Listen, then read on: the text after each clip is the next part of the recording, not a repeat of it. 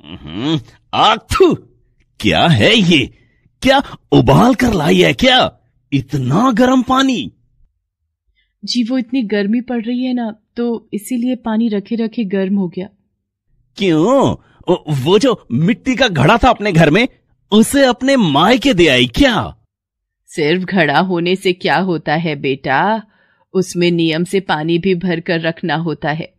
और इस सालसन से कहा हो सकेगा इतना बड़ा काम? तू ठहर जा बेटा, मैं अभी भर देती हूँ। माँ जी वो घड़ा नहीं है। हैं? नहीं है का क्या मतलब? कहाँ गया वो? क्या सच में दे आई अपने मायके?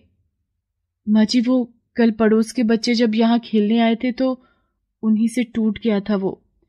हे भगवान, अब बताओ, एक ही तो घड़ा था घर में, सारी गर्मियाँ उसी के सहारे तो कटती थी, वो भी तुड़वा दिया इसने।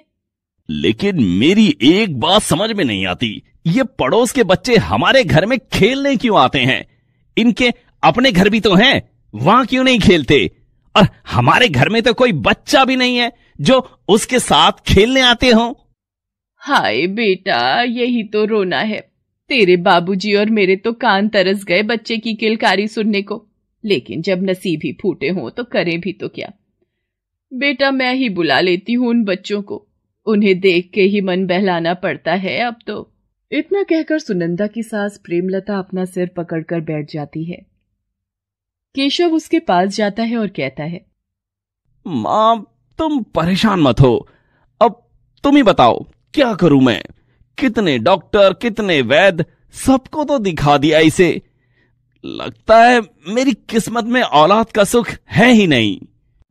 नहीं ऐसा मत बोल बेटा देख। मैंने तुझे पहले भी कई बार समझाया।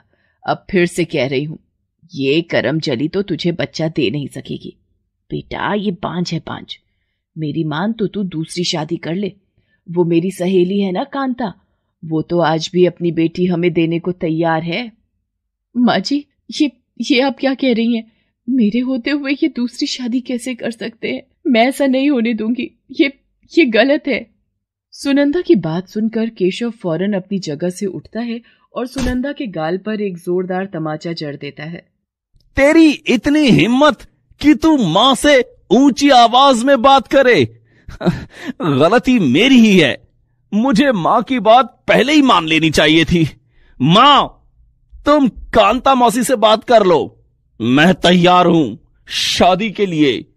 अब बस बहुत हो गया। इस मनुष्य की शक्ल और नहीं देखनी मुझे भी। नहीं ऐसा मत कीजिए। मुझे मत छोड़िए मैं कहा जाऊँगी? कहीं भी जा पर हमारा पीछा छोड़। समझी ना? चल अभी के अभी निकल मेरे घर से। और सुन अगर दोबारा दिख गई ना यहाँ तो तुझे ज़िंदा गाड़ देगा मेरा बेटा। याद रखना। केशव और उसकी माँ प्रेमलता सुनंदा को धक्के मार कर घर से बाहर निकाल देते हैं। सुनंदा अपने मायके जाने के बारे में सोचती है, लेकिन वो जानती थी कि वहाँ भी उसे कोई नहीं अपनाएगा। सुनंदा अकेली रोती हुई चली जा रही थी। अचानक उसे माता रानी का मंदिर दिखाई दिया। मंदिर को देखकर उसे याद आया। कल से तो माता रानी के नवरात्रे शुरू हो रहे हैं। मैं घर पर होती तो खूब अच्छे से माता रानी का श्रृंगार करती, लेकिन अब अब क्या होगा? ये सोचकर सुनंदा रोने लगती है।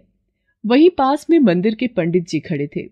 वो सुनंदा को जानते थे क्योंकि नवरात्रि पर हर रोज वो इसी मंदिर में माता रानी की पूजा करने आया करती थी। सुनंदा को रोते देखकर पंडित जी उसके पास आए और उससे बोले बेटी तुम तुम रो क्यों रही हो? क्या बात है? सुनंदा पंडित जी को सारी बात बताती है फिर पंडित जी उससे कहते हैं धीरज रखो बेटी माना कि तुम्हारे साथ बहुत गलत हुआ, लेकिन तुम तो माता रानी की भक्त हो। इस मुश्किल समय में भी माता रानी तुम्हारे साथ हैं। तुम परेशान मत हो। अगर तुम चाहो तो यहाँ मंदिर में रह सकती हो। और वैसे भी कल से माता रानी के नवरात्र शुरू हो रहे हैं, और तुमसे अच्छा माता रानी का श्रृंगार तो कोई कर ही नहीं सकता। पंडित जी की बातों ने जैसे सुनंदा को जीने की वजह दे दी थी। अब मंदिर का आँगन ही उसका घर बन गया। उसने पूरी श्रद्धा से नवरात्रि के व्रत रखे और पूरे मन से हर रोज माता रानी का श्रृंगार करने लगी। पंडित जी मंदिर में आए चढ़ावे में से कुछ पैसे और पेट भरने लायक प्रसाद उसे दे दिया करते थे। इस तरह सुनंदा अपना गुजारा करने लगी। वो सुबह जल्दी उठकर पूरा मंदिर साफ़ करती और फिर माता रानी का श्रृंगार करने के बाद सारा दिन मंदिर के आँगन में ही माता रानी के भजन कीर्तन करती। मंदिर में जो भी आता उसके भजन सुनकर माता की भक्ति में खो जाता।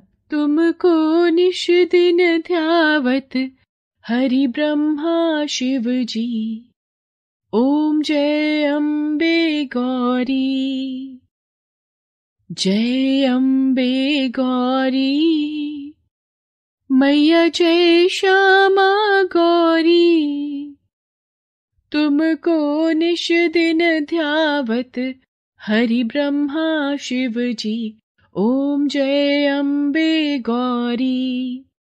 फिर कुछ दिनों के बाद, अरे अरे, ये क्या कर रही हो सुनंदा? दीदी, कल नवमी है तो कन्या पूजन की तैयारी कर रही हूँ। आप अपनी बेटी माला को समय से भेज देना कल सुबह। यही मंदिर के आँगन में ही कन्या पूजन होगा।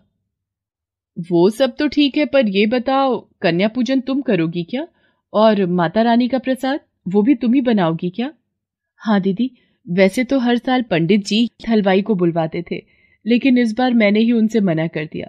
अब जब मैं हूँ यहाँ तो मैं अपने हाथों से माता रानी का भोग बनाऊँगी। अच्छा दीदी, आप पूजा करो, मैं चलती हूँ। कल के लिए बहुत सी तैयारियाँ करनी है।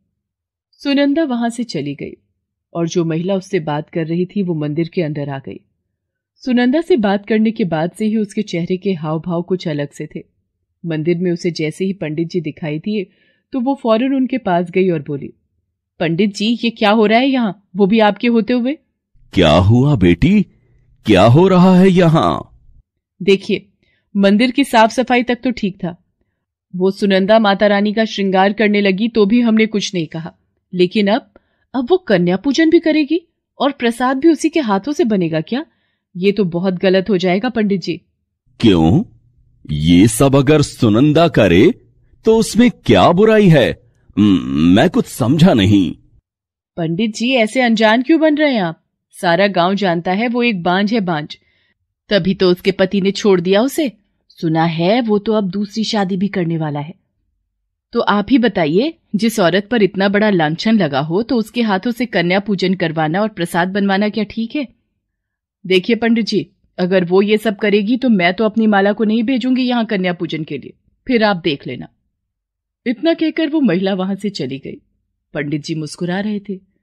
तभी उन्हें किसी के रोने की आवाज़ सुनाई दी। वो सुनंदा थी, जो पास ही खड़ी थी और सब कुछ सुन चुकी थी। पंडित जी उसे कुछ समझा पाते, उससे पहले ही वो रोती हुई माता रानी की मूर्ति के पास गई और रोते हुए बोली, माँ, ये कब तक सहना होगा मुझे? घर, परिवार सब छूट गया। अब आपका साथ भी छोड़ना होगा क्या? नहीं माँ, इससे अच्छा तो मैं मर ही जाऊँ, वही अच्छा रहेगा। नहीं बेटी, इतनी जल्दी हिम्मत मत हारो। तुम माता रानी की शरण में हो, मुझे पूर्ण विश्वास है कि वो तुम्हारे दुख का निवारण अवश्य करेंगी। अभी ऐसा करो कल के प्रसाद और माता रानी के श्रृंगार के लिए जो कुछ चाहिए वो सब जाकर ले आओ बाज़ार से। लो ये पैसे भी रख लो। लेकिन पंडित जी मैं नहीं नहीं आप किसी और से करवा लीजिए सब कुछ। नहीं बेटी पूरे नवरात्रे तुमने माता रानी की सेवा की है। तो नवमी पर तुम्हारा यह अधिकार मैं तुमसे कैसे छीन सकता हूँ? तुम कुछ मत सोचो और बाज़ार से जाकर ये सामान ले आओ। बाकी सब माता रानी पर छोड़ दो। ठीक है? पंडित जी की बात मानकर सुनंदा उनसे पैसे लेकर बाज़ार की तरफ़ चल देती है। वो बाज़ार पहुँचने ही वाली थी कि अचानक एक जगह उसे कुछ लोगों की भीड़ दिखाई दी। उसने पास जाकर देखा तो वहाँ एक कार का भयंकर एक्सीडेंट हो रखा था। वहीं पास में ही एक छोटी सी बच्ची ज़ोर ज़ोर से रो रही थी। कोई उस बच्ची की मदद के लिए आगे नहीं आ रहा था। सुनंदा ने जैसे ही ये सब देखा तो उसने फ़ौरन उस बच्ची को गोद में उठा लिया। फिर उसने बच्ची के माँ बाप की तरफ़ देखा जिनकी मौत हो चुकी थी। सुनंदा ने फ़ौरन उस बच्ची को गले से लगा लिया और रोने लगी, लेकिन इस बार उसके आंसुओं में खुशी भी झलक रही थी। क्योंकि वो समझ गई थी कि माता रानी ने उसे अपना आशीर्वाद दे दिया है। साथ ही जीने की वजह भी।